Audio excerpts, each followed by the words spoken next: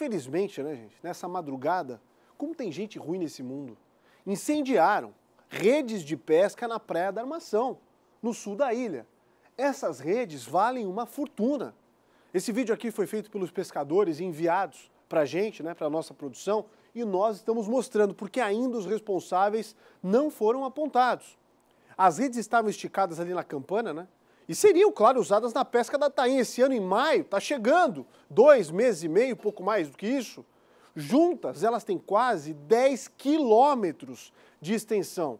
E de acordo com os mesmos pescadores, o prejuízo é de milhares de reais. Sabe quanto?